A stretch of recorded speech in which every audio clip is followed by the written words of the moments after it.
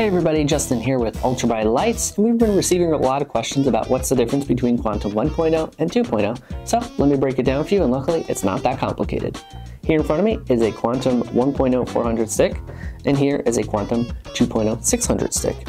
Now, there's basically no way to tell there's any difference between the two. Unless you look really, really closely, you'll notice that there's the addition of green. Quantum 2.0 now features green LEDs and is available as one of the color unlocks.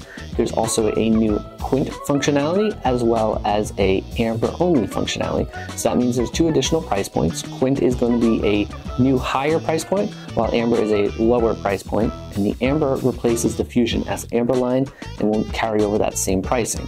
Now keep in mind with the Amber only, it's just as you would think, it's Amber only. There's no additional colors available to unlock. But if to upgrade to single color, you can unlock and program the stick or light bar or whatever Quantum product you purchase to have any different variation of colors that you want. And then once the colors are locked in, that's it. The light will be set as that way forever unless you again decide to upgrade it to dual color, tri-color, quad color, or again, Quint. With the 1.0s, that was basically the same way that they functioned, but again, you didn't have green and you didn't have the color option for Quint. Also, the software has been upgraded, so there's a new functionality built into the software. You can control the Quantum 2.0 stick lights and other Quantum 2.0 products utilizing the wires that come out of it.